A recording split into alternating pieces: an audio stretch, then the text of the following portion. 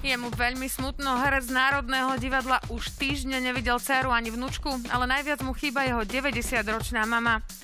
Jozef Vajda prežíva posledné týždne väčšinou spoločnosti svojej manželky. Prišiel o prácu v divadle, ale toho momentálne až tak netrápi.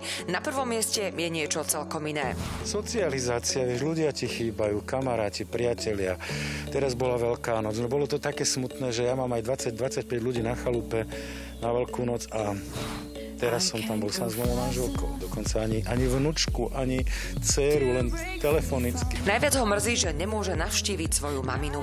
Ktorá má 90 rokov ktorú by som chcel tiež vidieť, ale tam sa vôbec už neodvážim ísť. Voľný čas využíva aj na posilňovanie imunity, pláva v studenej vode a veľa sa hýbe na čerstvom vzduchu. Chodím si na koníka, pokiaľ môžem, ten, ten korunu nemá, chvála Bohu. Sympatický herec veľa maká fyzicky aj na svojej chalupe.